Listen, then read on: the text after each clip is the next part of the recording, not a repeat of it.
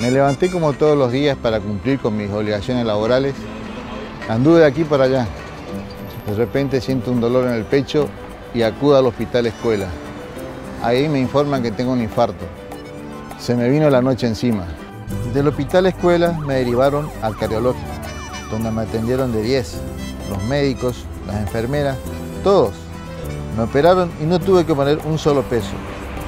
Hoy, gracias a ellos y a Dios, estoy muy bien. Creo que si hubiese nacido en otro lugar del país, hoy no estaría contando esto. Me siento muy feliz de ser correntino. Gracias a todos salí adelante. Gracias. Vamos para adelante, todos juntos, ahora.